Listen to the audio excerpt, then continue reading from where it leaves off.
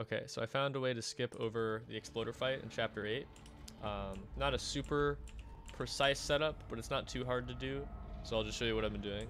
So you're going to want to run straight into this thing.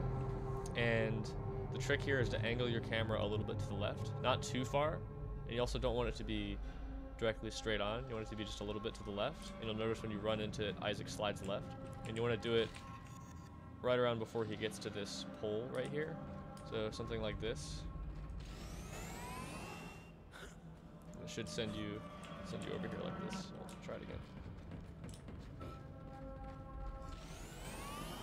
Yeah, something like that. We might find a uh, setup that's easier to explain, but uh, for now this is pretty easy.